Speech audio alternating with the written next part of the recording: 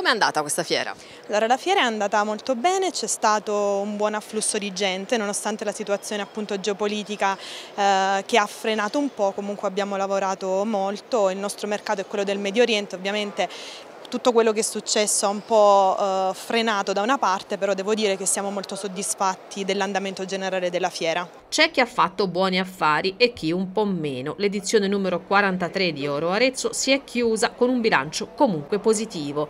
Di certo Arezzo rimane punto di riferimento per l'oreficeria Made in Italy. Poco significativa, insomma. Non non abbiamo visto poi una grande affluenza del pubblico né, né quelli che sono, si sono presentati poi avevano un grande interesse ad acquistare o a fare ordini. Insomma. È stata una fiera peggiore di, rispetto a quella degli anni precedenti, dipende essenzialmente dalle condizioni di mercato, da, dalle quotazioni dei metalli preziosi che sono eccessivamente alte, che probabilmente crea un'incertezza nel mercato e poi le conseguenze alla lunga sono queste. Insomma. La situazione geopolitica e il prezzo del metallo sono i principali motivi di un mercato ancora con il freno tirato, anche se alcuni operatori hanno raggiunto un risultato insperato alla vigilia della fiera. È un bilancio molto molto positivo per quello che riguarda la nostra azienda, ovviamente il nostro prodotto contro le aspettative diciamo, della partenza, visto un po' la situazione generale tra prezzo dell'oro, mercati. 109 i paesi di provenienza dei buyer, fa sapere IEG, i visitatori esteri sono aumentati del 14% in crescita, anche l'Italia con un più 4%. Proprio sui buyer gli operatori però chiedono un maggior coinvolgimento e un prezzo più calmierato per gli stand. Secondo voi i buyer sono selezionati in maniera corretta?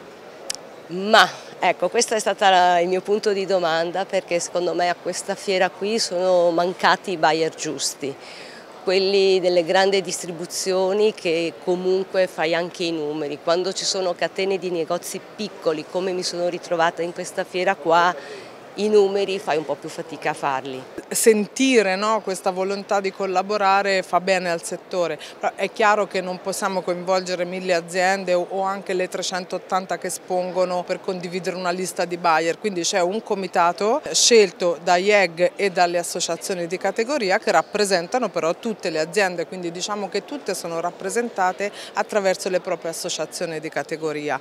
Eh, chiaramente il costo è importante, è un costo molto alto, costa meno andare a Las Vegas per esempio perché ci sono i fondi dell'internazionalizzazione eh, delle camere di commercio piuttosto che quindi è chiaro che con un aiuto eh, da parte dello Stato eh, è più facile andare a esporre ad una fiera. Chiaramente questa è una fiera del nostro territorio, bisognerebbe che IEG venisse incontro eh, alle aziende con anche degli allestimenti più snelli per cercare di eh, far partecipare più aziende possibile, anche quelle magari un, un po' meno strutturate private che hanno la necessità di essere presenti ma non possono sostenere costi alti, quindi questo sicuramente è fondamentale, lo abbiamo fatto presente e continueremo a portarlo nei tavoli di lavoro con gli EG.